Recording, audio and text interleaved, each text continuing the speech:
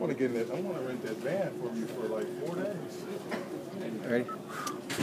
Darren Collison now joins us. Darren, you asked it tonight was a very historic game. Number 1,000 for Shawn Marion, and not to mention number 900 for Elton Brand. And now with the win tonight, Coach Mm-hmm. Carlisle two away from 500. Which one of those three really captures your attention? All of them. You know, um, they mean so much to the game. Um, you know, especially Shawn Marion. you know, he's, he's done so much you know, for the team, and um, you know, he's a great team player. He has a heck of a career ahead of him, and uh, we're all happy for him. It's only gonna keep getting better for him. You know, Shawn Marion is is probably one of those guys that you're gonna love playing with because he plays so hard and he's, he's unselfish. Now, I recall about three weeks ago on this day, you were sitting right here and telling everyone around you that one game can change the scope of a season and change the direction of the team. You've now won six of eight.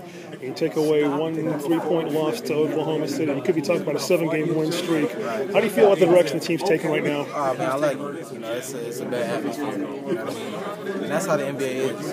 You, can't get too low and low. You can't get too high and high. And all I did was take this one game to get back on track. And uh, like I said before, you know, we was very optimistic during that time, and we got on one game, and now we're feeling a lot better about ourselves.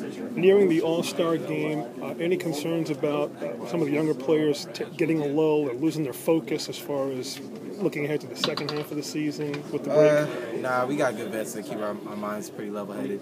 Um, you know, we our team is mostly veteran, like so um, we'll be fine. You know, we don't got to worry about that type of stuff. Okay. Any concerns with playing Phoenix again in a couple of days when they won't be on a back-to-back? Say it again.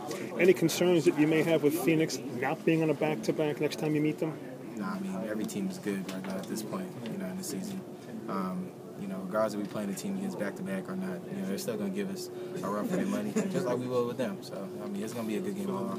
Thank you for your time, Darren. All right. Darren Collison.